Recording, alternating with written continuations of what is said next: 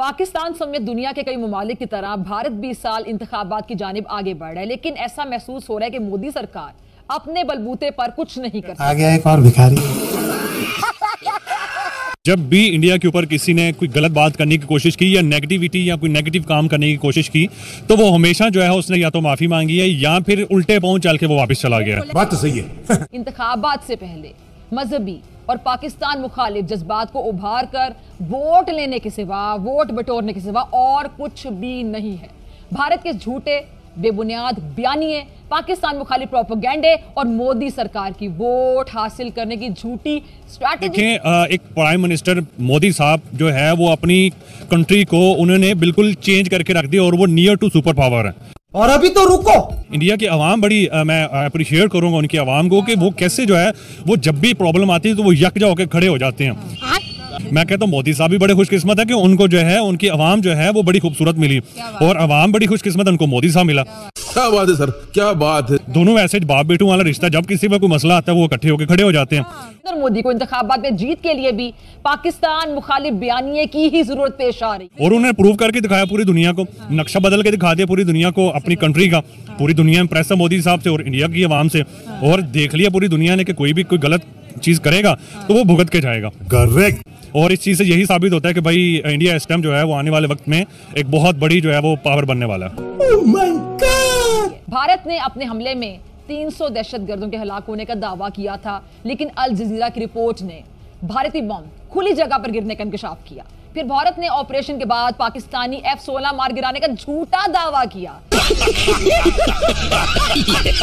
नमस्कार मित्रों पाकिस्तान में इस समय भारत को लेकर बवाल मचा हुआ है। यह बवाल पाकिस्तान के विदेश मंत्री इशक डार के बयान पर हुआ है। दरअसल आर्थिक संकट से जूझ रहे पाकिस्तान को शायद अब समझ में आ रहा है कि भारत के साथ उसके व्यापारिक रिश्तों की क्या अहमियत है और पाकिस्तान हर हाल में अपनी तंगहाली से निकलने के लिए भारत से व्यापार करने की मंशा जता रहा है। आपको पता है कि इंडिया इस वक्त आपसे किसी किस्म की बात करने को तैयार नहीं। जब से मोदी साहब ये अब तकरीबन दस साल हो गए गवर्नमेंट में आ गए तो एक स्टेट लेवल के ऊपर पूरा एक जो है ना पॉलिसी है कि इंडिया की जहाँ तक बात है अ, मेरे ख्याल में तो शायद इस वक्त मोदी साहब बिल्कुल इस मूड में नहीं होंगे क्योंकि ऑब्वियसली वहाँ पे जो हेट का या जो हिंदुत्व का वो सारा उन्होंने एक नैरेटिव बनाया हुआ है। तो मेरे ख्याल में तो पाकिस्तान के साथ बिल्कुल इस वक्त कोई ट्रेड क्या कोई बात भी नहीं करना चाहेंगे। बात तो सही है। भारत से ही सस्ती तिजारत मुमकिन है और सरमायाकार भी यही चाहते हैं कोई दूसरा मुल्क नहीं। देखिए इंडिया हमेशा हमसे दुश्मनी करता रहा है। और इंडिया आ, का इख्तलाफ करता रहा है। हम तो ये चाहते हैं क्या? रीजन में आ, लोगों का फ़ायदा इसी में हो सकता है ना। उनको हमारी चीज़ें कंपेरेटिवली कम कास्ट में मिल सकती हैं और हमें उनकी चीज़ें वो उनकी क्या बात कर रहे हैं?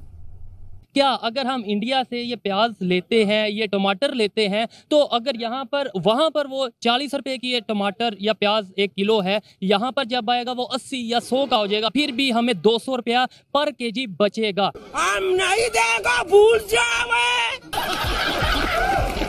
लेनी चाहिए। लेनी चाहिए। लेनी चाहिए इंडिया से लो। तो फिर आप गरीब आदमी मर रहे हैं वो ले। तो फिर क्यों नहीं ले रही हमारी हुकूमत? हुकूमत पता नहीं क्या समझ रहे क्यों नहीं ले रहे। गरीब आदमी हड्डी नहीं पक रही तो क्या करे वो? सौ रुपए का प्याज दो लेके आता है। आपकी हम मदद कोई चीज़ नहीं लेनी चाहिए। क्यों नहीं लेनी चाहिए? वो हमारा दुश्मन है। अच्छा दुश्मन है तो भूखे मार जाएँगे दुश्मन से चीज़ नहीं नहीं दुश्मन से चीज़ नहीं ले कौन कौन हमारा दुश्मन है जरा बताएँ इंडिया है और कौन है पूरी दुनिया? इंडिया इंडिया ज़्यादा है और तो अमेरिका भी दुश्मन हम समझते वो तो बड़ा ही है ना। क्या बात कर रहे रे बाबा? हिंदुस्तान में अब कुछ हफ्तों में इलेक्शन होने वाला है तो इलेक्शन से पहले क्या नरेंद्र मोदी जो है वो पाकिस्तान के साथ ट्रेड की, बहाली की जो तजवीज़ है, इस पर सीरियसली गौर करेंगे। देखिए, पाँच अगस्त 2019 को जो भारतीय हुकूमत ने जो कश्मीर का स्पेशल स्टेटस था इंडियन कॉन्स्टिट्यूशन में 370 को सस्पेंड किया था। जब तक वो एकदम वापस नहीं होता तो इंडिया के साथ ताल्लुकात बहाल नहीं हो सकते। इंडिया के साथ ये मौजूदा हमारे इख्तलाफात हैं। हमारा कश्मीर का इशू है हमारा सरक्रीक का इशू है हमारा पानी का इशू है हमारे दीगर इशूज हैं। इन इशूज के होते हुए क्या हम ऐसा कर सकते हैं कि उसके साथ बायोलेटरल ट्रेड के बारे में गुफ्तगू करें इसके बारे में जो कश्मीर का मामला है वो तो बहुत इंडिया की ज़्यादतियाँ और वो वहाँ पर जो मजालिम हो रहे हैं। आ, हम सब तो लेकिन इसमें तो पूरी हमारी नेशन मुतफिक है। पूरी कौम में मुतफ़ा राय है कि कश्मीर का जो मुनसिफाना फैसला होना चाहिए। अकवा मुतहदा की करारदादों के मुताबिक। और इंडिया जो बैठ नहीं रहा ये हमें बड़ी इससे सब रीजन में बड़ी तकलीफ़ है। उसकी वजह से पूरे रीजन में आपस में इख्तलाफात ही हो रहे हैं। इंडिया 1990 तक चार गुना इकानमी थी पाकिस्तान से। आज वो बारह तेरह गुना इकानमी हो गई है। उनकी इकानमी को चार साढ़े चार हज़ार अरब डॉलर हो गई है। और हम तीन सौ सत्तर अस्सी अरब डॉलर बारह तेरह गुना हो गई है। तो बता दें कि पाकिस्तान के विदेश मंत्री इसक डार ने कहा कि पाकिस्तान गंभीरता के साथ भारत से व्यापारिक संबंधों को बहाल करने पर विचार कर रहा है। आगे उन्होंने कहा कि नकदी संकट से जूझ रहे पाकिस्तान का व्यापारिक समुदाय भारत के साथ फिर से ट्रेड शुरू करने का इच्छुक है। पाकिस्तानी विदेश मंत्री की इस बयान पर पाक मीडिया में बवाल मचा हुआ है। कुछ तो इस बयान के पक्ष में अपना तर्क दे रहे हैं। वहीं कुछ लोग कश्मीर का राग अलापने से गुरेज नहीं कर रहे हैं।